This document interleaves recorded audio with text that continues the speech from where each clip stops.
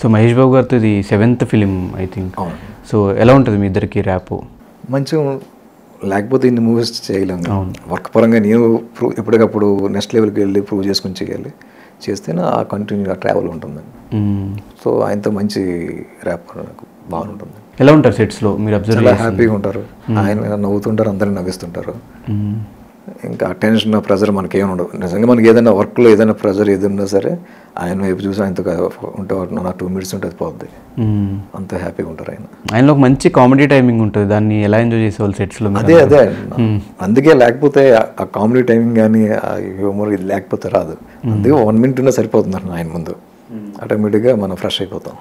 Super Parashuram గారితో working experience ఎలా అనిపించింది? నాకు ఆయనతో మంచి అంటే ఫస్ట్ నాకు ఫస్ట్ ఫిల్మ్ అండి ఆయనతో చేయటం.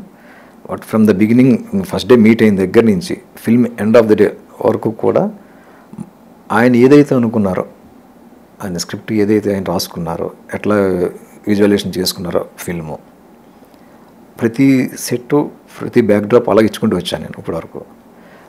జస్ట్ ఫిల్మ్ అంతా అయిపోయిన తర్వాత ఆయన చెప్పారు అది.